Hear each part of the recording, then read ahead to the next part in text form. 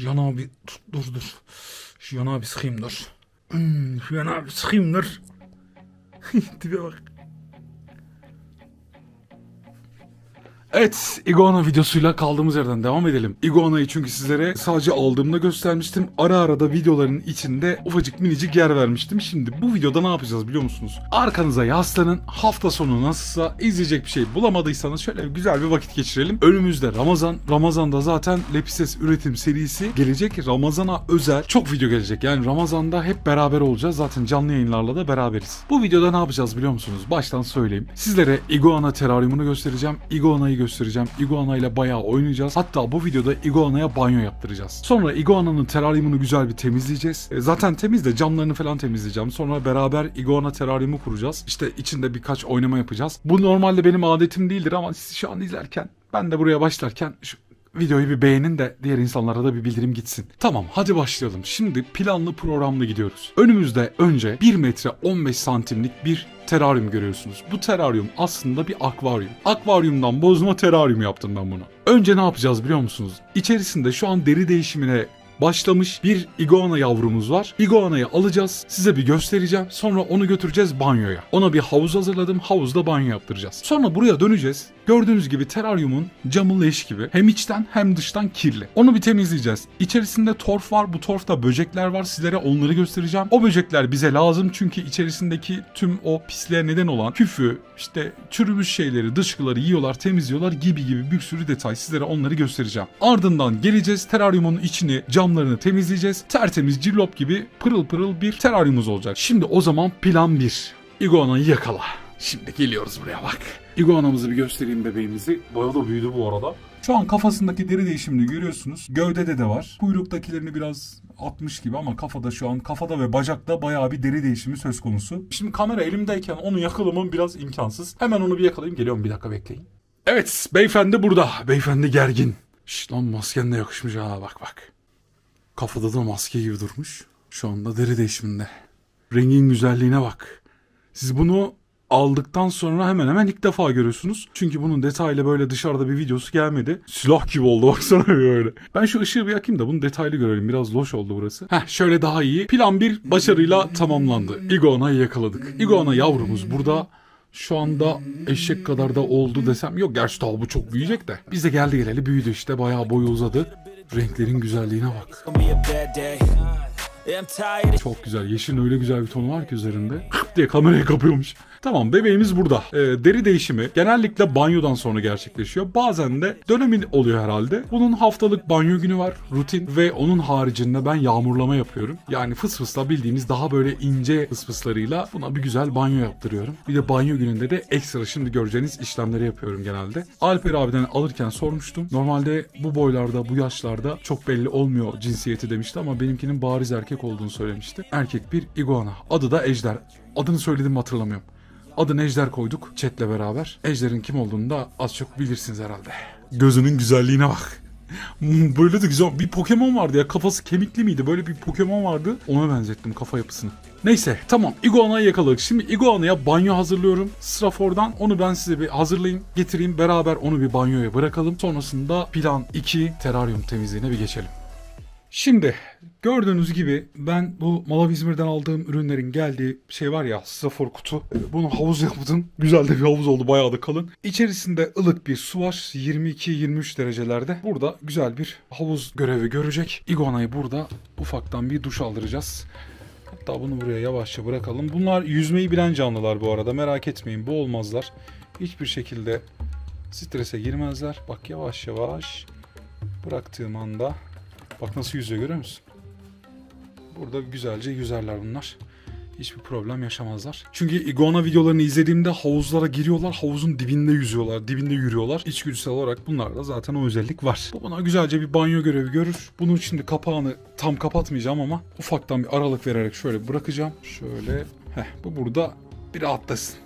Hem deri değişimine yardımcı olur hem de vücuduna gayet iyi gelir. Bunlar zaten doğada banyo yapan yüzen canlılar. Bu burada tamam. Şimdi gelelim diğer plana. Teraryum temizliğine bir başlayalım. Önce ne yapalım biliyor musunuz? İçindeki torfu bir havalandıralım. Bir karıştıralım şöyle. Böcekler möcekler şöyle bir rahatlasın. Torf da böyle bir hava alsın. Onu bir halledelim. Onun için o zaman şimdi şu kapağı sökmem lazım. Kapağı bir alayım hemen. Şöyle.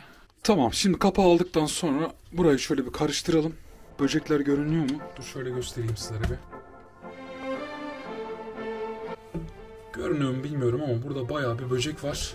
İyi kültür bayağı artmış. Oo bayağı artmış. Ben buraya az bir şey koymuştum. Çoğalmışlar. Yerlerini de sevmişler açıkçası. Gayet güzel. Bu böcekler doğada da olan, toprağı hem havalandıran hem çürümüş şeyleri yiyen, temizlik görevi gören canlılar. Doğanın olmazsa olmaz parçalar arkadaşlar gördüğünüz gibi. Evi sarmazlar merak etmeyin. En azından benim evimi sarmıyorlar. Buradan dışarı çıkmıyorlar. Onların yuvası, onların yaşam alanları da burası. Şimdi burayı bir güzel karıştırdım. Çok oradan oraya atmadım çünkü böcekler de çok rahatsız olmasın. Sadece bu şeyle cam kazıyıcımız var ya bizim. Onun arka tarafıyla şöyle bir havalandırdım. Camın kenarlarını boşalttım çünkü cam kenar şimdi camı temizlediğimde e, bez şey olmasın, torf olup çamur olmasın, tekrar camı kirletmesin diye. Şöyle bir ağaç parçam var. Bunu agamadan hatırlarsınız birçoğunuz. Bu ağacı da güzelce yerleştireceğim. Bu da güzel nem tutuyor bu arada ısladığım zaman. Kuru ağaçtır. Ben bunu bayağı bir kaynattım, maynattım, kuruttum yazın. Hatırlayacaksınızdır birçoğunuz. Da böyle bir ağaç parçası. Hem de güzel bir dekor olur hem de iguana bunun üzerinde yatmayı çok seviyor. Zaten burası geçici bir teraryum. Biraz daha boylanana kadar burası gayet yeterli tek beslediğim için. Ardından iguanayı odada salarız. Olabildiğince böyle rahat bırakacağım. Odada kafasına göre gezecek. Tamam neyse ben bunun camlarını temizleyeyim geliyorum hemen. Tamamdır şimdi ikinci planımızı da gerçekleştirdik. Teraryumumuz pırıl pırıl oldu. Neler yaptım onu bir söyleyeyim. Zaten gördünüz torfu böyle bir e, ufaktan bir havalandırdım. Böcekler oraya buraya kaçışmaya başladılar. Sonrasında güzelce nemlendirdim. Belli oluyordur diye tahmin ediyorum. Şu anda torf bayağı bir nemli. Her tarafını güzelce nemlendirdim. Bu ağaç parçasını buraya koydum. Taşı torfun içerisine gömdüm. Burası e, basking alan yani sıcak alan burası. Burada da güneş ışığını alıyor. UVB ışığımız da burada. Onu da hallettik. Camımız da pırıl pırıl oldu şöyle. Silmeye bağlı izler olabilir. Ee, sürekli şey yaptığım için ne onun adı? Fıs fıs yaptığım için camda lekeler olabilir. Bilare şey yaparız. Bu teraryumu buradan sökeriz. Buraları porçözle güzelce temizler. Sıfırdan kurarız. Onu zaman alır. Şimdi yapmayacağım. Şu an gayet işimizi görecek şekilde. Temiz de oldu güzel de oldu. Daha ne olsun oğlum işte. Gelelim bizim şeye. Iguana'ya. Iguana'mız burada. Bakalım o ne durumda. Şöyle bir açalım birden fırlamasın. Tamam suyun içinde gayet kafasında o nasıl buhar geliyor var ya yüzüme. Burası sauna etkisi yaptı ona. Gayet rahatlamıştır diye düşünüyorum. Oğlum bu suyun içine nasıl nefes alıyor la? Valla bayağı suyun içine gömüyor kendini. Açtığımı fark etti. Uyandı şu anda. Şöyle bir tabii bu banyoda kendini karartıyor. Bak şimdi şuradan göstereyim bak. Eklemlerine derinin değişmeye başladığı yerlere iyi bakın şimdi. Bak mesela eklem yerinde var. Sırtında ufak bir yerde. Ya bu aldığımdan beri o sırt kısmındaki deri sürekli oradan bir deri atımı var. Oradan bir deri soyuluyor. Kafası bayağı bir yumuşamış. Kafasındaki deri bunu var ya alıp çıtır çıtır soymak çok güzel olur da hayvana belki zarar veririm diye hiç dokunmuyorum. Onu böyle aslında alacaksın çıtır çıtır kendin soyacaksın. Banyo evresi de böyle birazcık daha durmasında fayda var. Az daha dursun ben onu oradan alacağım. O zaman ben şimdi gideyim ne yapayım biliyor musunuz? Buna güzel bir salata yapayım. Bugün meyve menüsü yok. Bugün salata var. Güzel bir salata yapayım geleyim. Salata yapana kadar biraz daha burada dursun bu. Şimdi ne yaptık? Şöyle yalandan bir salata yaptım. Normalde öğünde ben salataya mutlaka meyve ekliyorum. Meyvesi salata çok vermiyorum. Burada bayağı bir yeşillik var. Bayağı bir içerisinde karışım var. Burada D3 kalsiyum var. Exoterra'nın. Bunları Malavizmir'den almıştım hatırlarsınız şey için. Bizim Cuguli için. Burada multivitamin var. E, multivitamini ben her beslemede veriyorum. D3 kalsiyumu da şeyde veriyorum. Ne onun adı? E, haftada bir veriyorum. Alper abi öyle söylemişti. Şimdi burada bir de aslında bu kargoyu beklemiştim ben bu videoyu çekmek için. E, şey var. Ne onun adı? Kuruyem var. Iguana için kuruyem eklemişler stoklarına. Valla e, rica etmiştim sağ olsunlar. Sürüngen stoklarını bayağı güncellediler. Farklı markaların da var. Malavizmir'den dilerseniz gidip oradan bakabilirsiniz. Dajana mıydı? Bayağı bir yem, şey, iguana yemleri var. Şimdi ben bunu açtım. Bir kokladım tabi. Şimdi tekelle olmasın diye. Videoda uğraşmayayım diye. Bunu meyve ve sebzenin yanına ekleyerek vereceğim. Direkt olarak vermeyeceğim. Belki almayabilir. Direkt olarak verdiğim zaman alışkın olmadığı için şöyle şimdilik şöyle çıtırdan bir ekleme yapsam yeter. Bir bakacağım eksilme var mı, yiyor mu, almış mı, almamış mı? Ona göre biraz daha ufaltırım olmadı diğer öğünlerde. Şimdi ne yapacağız? Bugün D3 kalsiyum günü. Kalsiyumumu da ekleyelim. Şöyle ufakta üzerine serpsem yeterli. Aslında multivitamini öğleden sonraki öğünde de verebilirim de. Dur eklemişken onu da ekleyeyim ya. Bunu da şöyle üzerinden serpsem. Ben böyle kendime salata hazırlamıyorum lan. Yeter çok bile attık. Multivitamini de ekledik. Kalsiyumu diğer hafta cumartesi gün ekleyeceğim. Multivitamini de zaten günlük gün aşırı olarak veriyorum. Şunu da kapağını kapatalım ve e, bunu teraryuma ekleyelim. Iguana'dan önce hemen beyefendi şey girdiğinde Her şey önünde olsun. Şuraya koyayım sonra alırım. Şimdi meyve tabağını buraya ekledim. Kayayı buraya aldım. Çömlekten de suyu buraya ekledim. Işıklarını yakınca burası daha net bir şekilde görünecek. Ama öncesinde ışıklardan önce iguanayı buraya almamız lazım. Hadi ejderi buraya bir alalım. O zaman şimdi bunu yakalama vakti. Dur bakalım. Çok güçlük çıkartacağını sanmıyorum. Baya mayıştı da. Aa da orada zaten kendisi de. Bunu hemen oradan bir yakalayacağım. Dur bakalım. Birden fırlama bak vallahi var ya. Haydi bismillah. Hop. Yakaladım. Aslında böyle birden de fırlamıyordu. Ben biraz paniklettirdim bunu. Şş, ne vuruyorsun lan? Kuyruğa bak. Kafadaki deri bayağı yumuşamış. Yanları atmış. Daha böyle bir şeydi. Bak gerildi şu anda. Gerildi. Kameralar hiç alışık olmadığı için. Şş, gergin. Gergin tip. Ne la bu gerginlik? Ha? Ne la bu gerginlik? Kamerayı mı ısıracaksın? Çok sert dişleri var bu arada. Hiç böyle göründüğüne bakmayın. Benim bu ilk videoyu paylaştığımı izlerseniz orada elimi bu ısırmamıştı ama orada bir tane seçtiğim iguana vardı. Elimi bir kaptı var ya. Direkt kanatıyor şerefsizler. Direkt. Şu an derdi şey onun. Kamera bak. Yaklaşıyor ya bak şöyle. Kameraya geliyor yoksa elimde ya da bana saldırısı yok. Benle bir derdi yok onun. Artık beni bir sallıyor. Tabi rahatladın değil mi? Banyoyu yaptın hadi. Şş. Hayırdır lan? Hayırdır oğlum? Ha? Korkutayım biraz sizi. Tamamdır güzel. Kafadaki beyazlık da o deri de gidecek. Bayağı bir değiştirmiş. O da bayağı iyi oldu ha. Yumuşadı derisi merisi. Çok güzel lan. Var ya bak valla beslemeyi düşünen varsa hiç tereddüt etmesin. Bizim Ekin var. Ekin izliyorsan selam olsun. Ekin'e de dedim hemen direkt Ekin de başladı. Çok güzel bir teraryum yapmış o da. Onun da eline koluna sağlık. Şöyle, şöyle göstereyim. Bunun, bunun bir hilal pozisyonu var. Böyle kuyruğu daha da büküyor.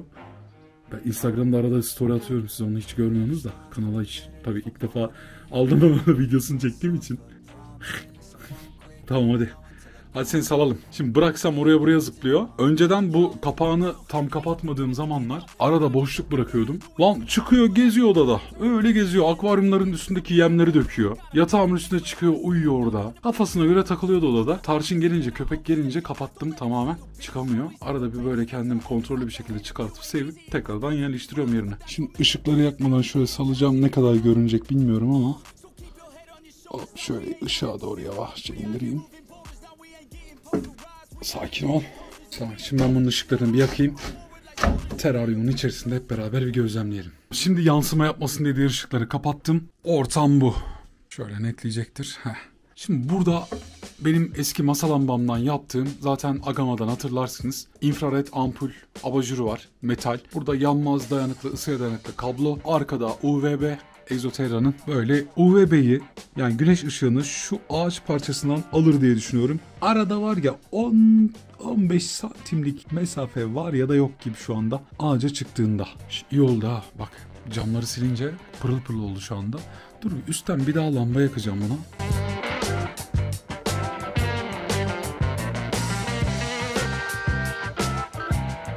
Öyle dur da bir göstereyim lan.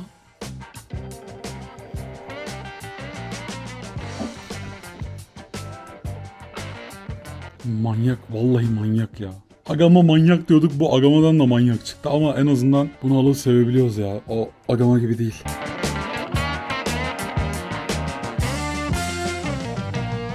Tamam iguana videosunu hallettik dostlar. Son durum bu şekilde. Bir de Ciguli'nin teraryumu hallederiz başka bir videoda. Onun da son halini şöyle bir göstereyim. Cam o kadar kaygan ki şu an açamadım. Lan. Heh açtık. Burada sarmaşıklar bu patoslar bayağı yeni yapraklar verdi buradan. Sürgünler verdi. Orada mağarası var. Ben bunu ışıklı mışıklı yapmıştım da sonradan söktüm. Çünkü rahat rahat nemlendiremiyordum. O detayı unuttuk tabi. Ciguli'yi bir göstereyim size. Gider ayak onu da bir görelim de. Sürüngen videomuz olur da Ciguli'siz olur mu? Bak bak burada bir tane manyak var görüyor musun? Sen tanıyor musun lan onu? He? Ee, bunun dünya umurunda değil ya. Bu var ya bu.